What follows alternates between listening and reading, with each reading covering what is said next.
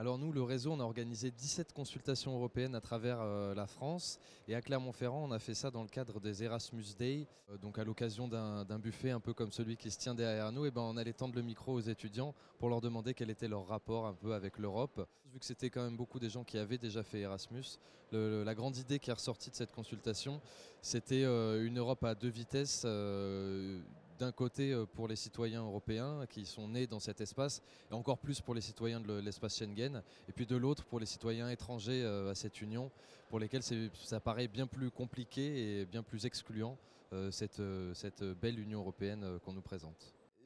L'attente principale des, étudiants interviewés, c'était surtout un, une volonté de plus de solidarité entre les membres de l'Union européenne et les non-membres de l'Union européenne. Euh, pour pouvoir faciliter euh, bah, une liberté de mouvement euh, à l'échelle internationale plutôt qu'européenne.